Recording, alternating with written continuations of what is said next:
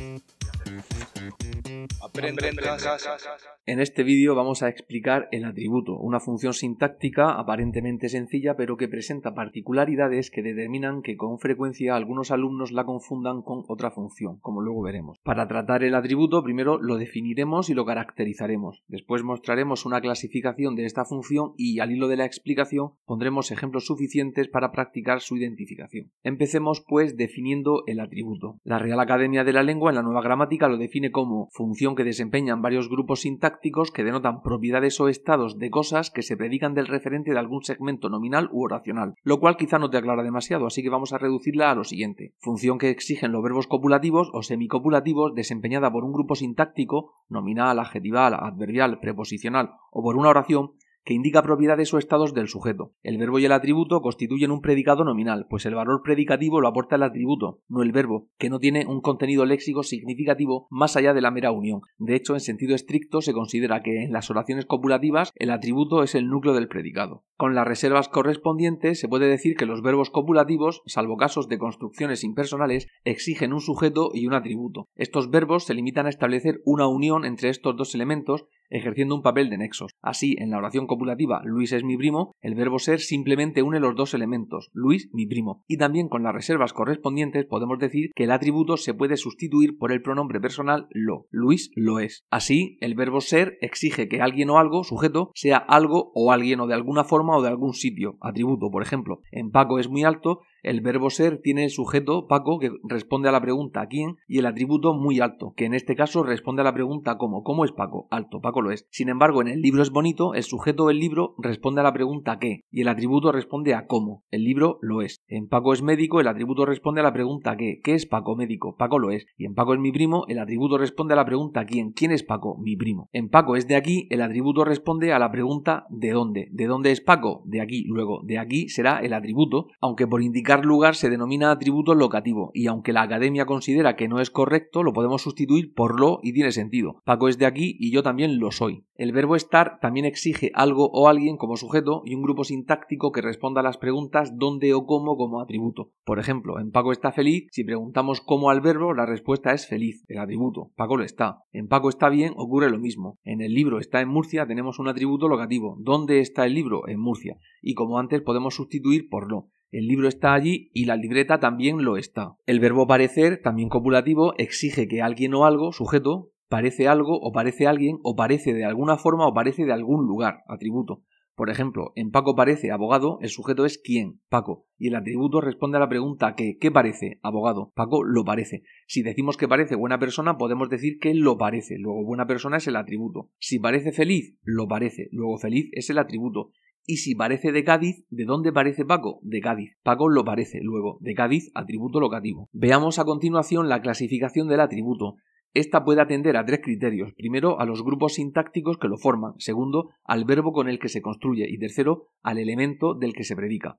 De estos tres, solo vamos a ocuparnos del primero, que es el que más nos interesa y suficiente para nuestros propósitos. Así pues, según los grupos sintácticos que pueden desempeñar la función de atributo, se pueden diferenciar los atributos adjetivales, los nominales, los preposicionales, los adverbiales y los oracionales. Además, se asimilan a los adjetivales tanto los participios como los gerundios lexicalizados. En cuanto a los atributos adjetivales, los adjetivos que integran el grupo adjetival concuerdan con el sujeto en género y número, como ocurre en los siguientes ejemplos. En la cosa está muy clara, el núcleo del atributo, clara, concuerda con el sujeto la cosa. Si cambiamos el número del sujeto, cambia el del atributo. Las cosas están muy claras. Lo mismo sucede en los demás casos. Su intención no parece buena, sus intenciones no parecen buenas. Tu compañero no siempre es sincero, tus compañeros no siempre son sinceros. El café estaba demasiado caliente, los cafés demasiado calientes. Sus advertencias no parecían tan importantes, no lo parecían. Bernarda fue infeliz, ellas fueron infelices, lo fue, lo fueron. Además, como hemos dicho, se asimilan a los atributos adjetivales los participiales y los gerundios lexicalizados, como ocurre en estos ejemplos. Aquí,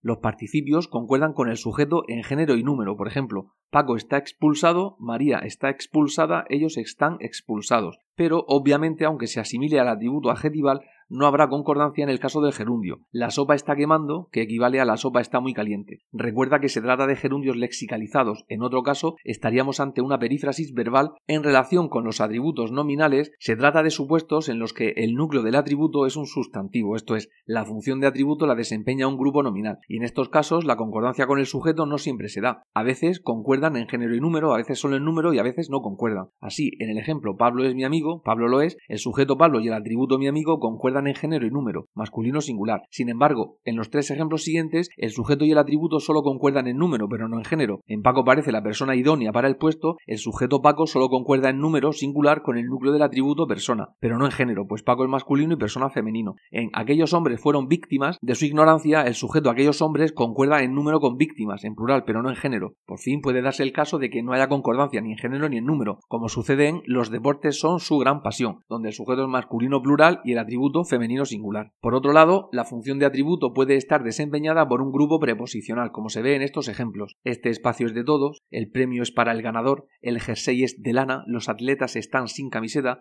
la suerte está con Paco y la lucha fue contra un buen adversario. En todos estos casos, el grupo preposicional atributo puede sustituirse por lo. Además, los grupos preposicionales que indican lugar se asimilan a los atributos y en estos casos se consideran locativos. En Pablo es de Murcia, el grupo de Murcia es un atributo locativo, igual que por allí, en el ejemplo, el próximo desvío es por allí. De la misma manera, se asimilan a los atributos los grupos preposicionales de localización temporal y de otras magnitudes, como en las fiestas son en primavera y los tomates están a 2 euros. Las fiestas lo son, los tomates lo están. En cualquier caso, no se deben confundir las locuciones adjetivas con los grupos preposicionales. En estos ejemplos, los grupos de confianza, como una cabra, de mal humor y para el arrastre, son locuciones adjetivas y por tanto grupos adjetivales. En relación con los atributos adverbiales, se trata de casos en que la función de atributo la desempeña un grupo adverbial, como en Luis está allí, Luis está bien o la reunión será después. Y se incluyen los adverbios interrogativos, que también pueden funcionar como atributos, como ocurre en cómo es tu casa, dónde está tu casa y cuándo es la reunión. Por último, los atributos oracionales, que se dan cuando la función de atributo la desempeña una oración o una construcción. Así, el atributo puede ser una construcción final, como ocurre en sus recomendaciones eran para ayudarte en tu trabajo, o una construcción causal, como en el regalo fue por haberle ayudado en aquella ocasión. También puede ser una oración subordinada sustantiva de infinitivo, como en su intención era engañar a todo el mundo, y una subordinada sustantiva también puede ser término de un grupo preposicional atributo, como en mi primo todavía está sin poder conectarse a Internet. Igualmente, las construcciones consecutivas pueden funcionar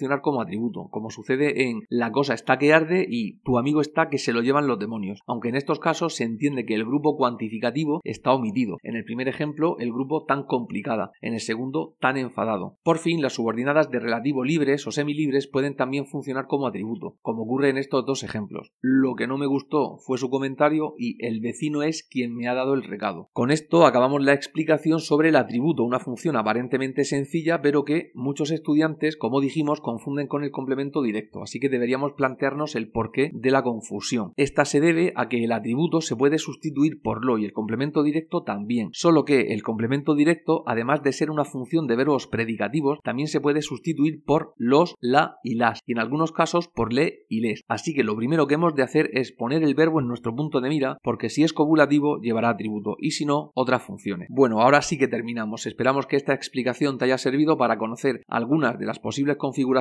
del atributo y comprender mejor esta función sintáctica.